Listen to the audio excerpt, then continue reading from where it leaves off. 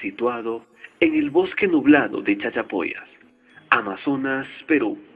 Tilacancha es un área de conservación privada de 6.000 hectáreas que comprenden pajonales, humedales y bosques, siendo el hogar de numerosas especies, incluyendo aves, mamíferos, reptiles, insectos, orquídeas y mucho más.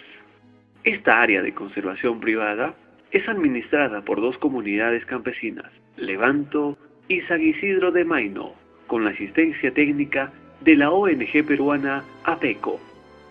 Gracias a la conservación del ACP Cancha, alrededor de 25.000 personas, pobladores de la ciudad de Chachapoyas, capital de la región Amazonas, reciben agua potable las 24 horas del día, los 365 días del año, una rareza en el Perú.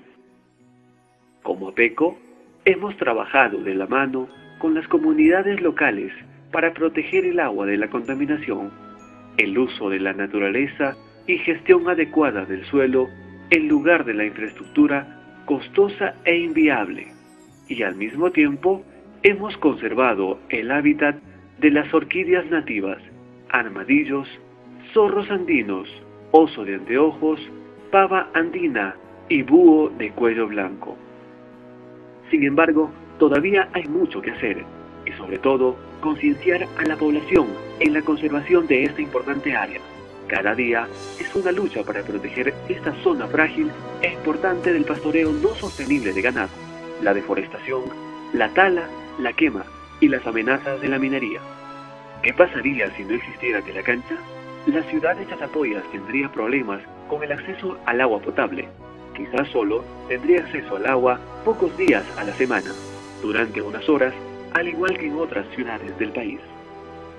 La educación ambiental continua es esencial para preservar el agua y la calidad del hábitat en Tilacancha.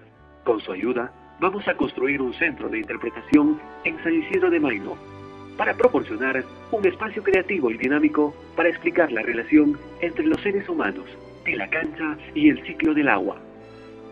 Con su ayuda, podremos construir este centro de interpretación de Levanto y Maino, que serviría como una herramienta de educación para los miembros de la comunidad grupos de escolares y turistas, los visitantes podrán ver exhibiciones interactivas, videos y utilizar la biblioteca de historia natural.